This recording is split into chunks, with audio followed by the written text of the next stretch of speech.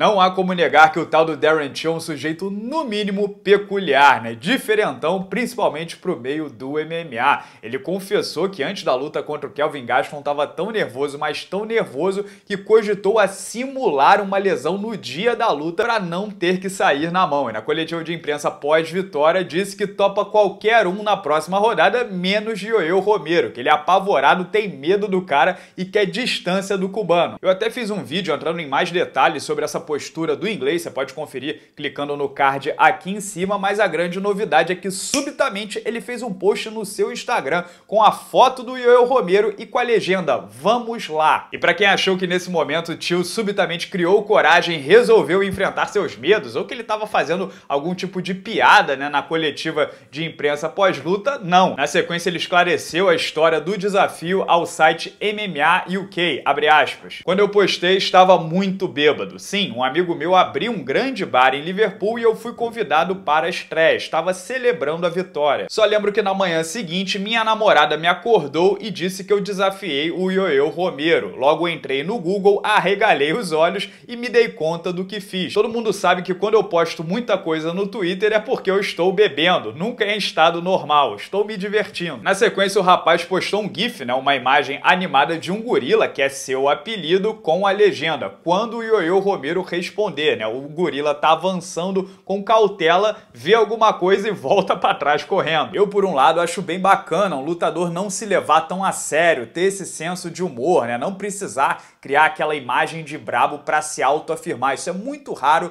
no meio do MMA. Mas por outro, eu também entendo como funciona o status quo e sei que para muita gente ele vai pegar uma imagem aí de mutuca, de fraco psicologicamente, o que para mim não é o caso. Aliás, ele tem a coragem de botar para fora uma coisa que muita gente sente igual, mas deixa escondidinho no armário porque não é bom para os negócios. Enfim, é um cara diferente que sem nenhuma cerimônia já deixou o Romero de lado. O Romero não respondeu porque ele tá tentando a luta com o Israel Adesanya e já focou no seu próximo alvo, Robert Whittaker. Só que é aí que eu acho bem curioso. Porque, peraí, não foi o Whittaker que ganhou do Romero duas vezes? Qual é a lógica de achar que o Whittaker é uma luta mais fácil, mais acessível? Porque ele é menos musculoso ou porque ele foi nocauteado pelo Israel Adesanya, que tem um jogo completamente diferente? Enfim, de novo, mais uma opção heterodoxa do menino Darren Till. Abre aspas. Vamos lutar no UFC Londres, Robert Whittaker. Estou pronto para lutar agora para ser honesto. E como o Till estava sendo insistente, o ex-campeão respondeu o seguinte: